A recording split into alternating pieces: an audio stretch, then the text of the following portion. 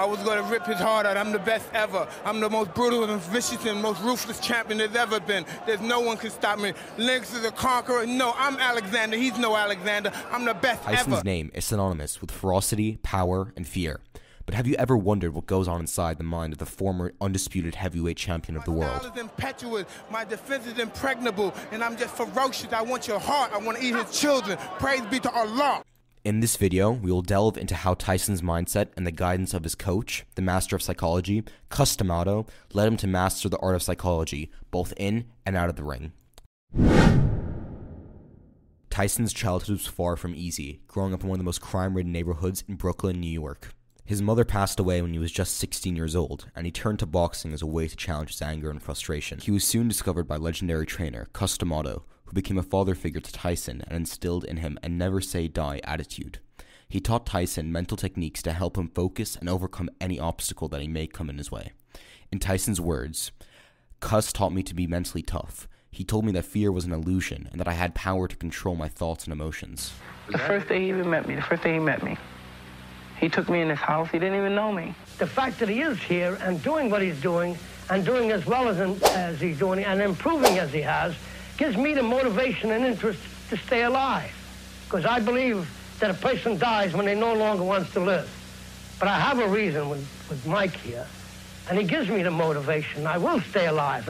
D'Amato was a legendary trainer, and he had a proven track record of success. He was responsible for training and coaching three world champions heavyweight Floyd Patterson and Mike Tyson, and lightweight Jose Torres. Each of these fighters went on to achieve great success, and Tyson's rise to the top was due in large part to the lessons he learned from his training. Steele, the first man in the ring, has got his work cut out when Mike Tyson.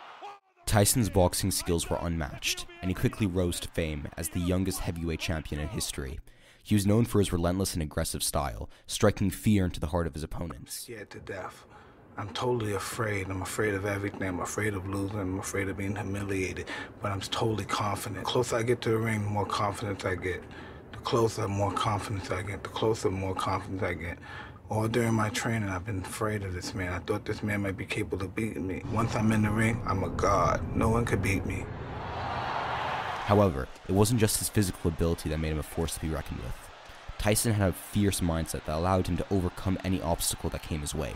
He had a deep understanding of the power of psychology in the ring and how it could give him a distinct advantage over his opponents. D'Amato was a master of psychology, and he taught Tyson how to use it to his advantage I'm a little kid. He said, you're going to be the world champ. Why didn't he want you to show emotion? Was did he equate it with weakness? I don't know what he did. I didn't know I was the one. Tyson was not only a physical powerhouse, but he was also a master of mind games. He understood the importance of getting inside his opponent's head and playing with their emotions. He would often use taunts and insults to distract and unsettle his opponents, giving him the upper hand. Tyson's psychological tactics were so effective that many of his opponents became intimidated before even stepping into the ring. His coach was a master of mind games, and he taught Tyson how to use this to his advantage in the ring. In D'Amato's words, quote, The mind is a powerful tool. If you can control it, you can control your opponents. I keep my eyes on him, even if he's ready and pumping. He can't wait to get his hands on me as well. I keep my eyes on him. I keep my eyes on him. I keep my eyes on him.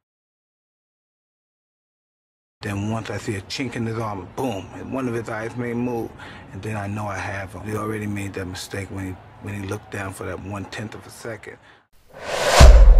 Tyson's confidence was contagious, and it was this self assurance that allowed him to overcome any obstacle. But before we get into it, I'd like to take a minute to thank the sponsor of this video, Skillshare.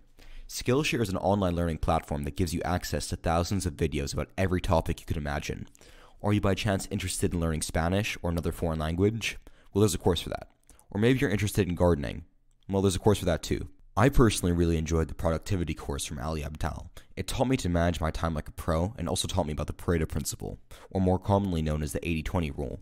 I used to focus on things that would yield a small amount of results for a massive time investment, but now I do the opposite and focus on the things that require the least amount of work and yield the most results. I've actually seen my chess rating skyrocket as a result of using this rule and focusing on things that would improve me the most first. I highly recommend that you give Ali's course a go. I promise you won't be disappointed.